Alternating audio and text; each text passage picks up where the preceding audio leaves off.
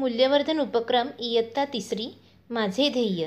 सचिनला आठवते सचिन तेंडुलकर सोळा नोव्हेंबर दोन हजार तेरामध्ये क्रिकेट जगतातून निवृत्त झाला. अखेरचा सामना खेळल्यानंतर त्याने केलेल्या भाषणामध्ये त्याने त्याला अत्युच्च स्थानी पोहोचण्यासाठी मदत करणाऱ्या सर्व लोकांचा उल्लेख केला आहे. आपण त्याच्या भाषणातील काही भाग पाहूया की तो एक लहान मुलगा असताना त्याला कोणी कोणी मार्गदर्शन केले किंवा मदत केली. सचिन म्हणतो माझ्या आयुष्यातील सर्वात महत्त्वाची व्यक्ती म्हणजे माझे बाबा. त्यांच्या मार्गदर्शनाशिवाय आज मला इथे तुमच्यासमोर उभे राहण्याची संधी मिळाली असती असे मला वाटत नाही. त्यांनी मला वयाच्या अकराव्या वर्षीच माझ्या स्वप्नांचा मार्ग अनुसरण्याचे स्वातंत्र्य दिलेले होते. हा मार्ग कठीण असला तरी तू हार मानू नकोस असे त्यांनी मला सांगितले होते. मी देखील अगदी तसेच केले. माझ्यासारख्या खोडकर मुलाला माझ्या आईने कसे सांभाळले मला माहीत नाही. मला सांभाळणे सोपे नव्हते. ती अत्यंत सहनशील असणार. कुठल्याही आईसाठी आपल्या मुलाने सुरक्षित निरोगी आणि धडधाकट असणे सगळ्यात महत्त्वाचे असते.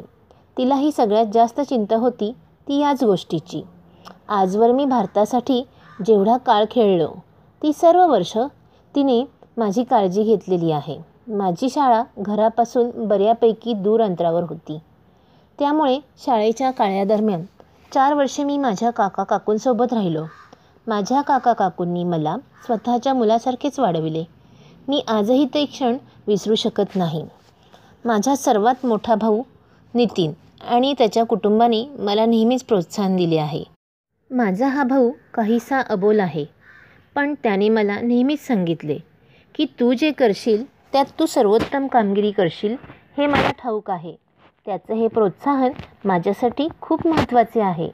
माझी बहीण सविता आणि तिचे कुटुंबही अगदी असेच होते. माझ्या आयुष्यातली पहिली क्रिकेटची बॅट मला माझ्या बहिणीनेच भेट दिलेली होती.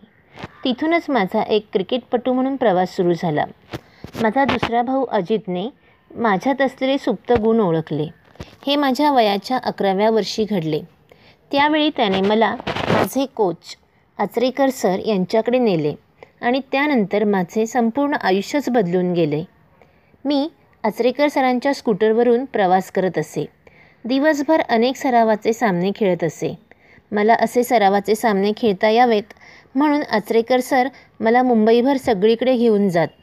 तू चांगला खेळलास असे ते कधीही म्हटले नाहीत. असे कौतुक केले तर मी मेहनत करणार नाही असे त्यांना वाटत असे. तुम्हीही तुमचे ध्येय लहानपणीच ठरवा की तुम्हाला मोठेपणी काय व्हायचे आहे.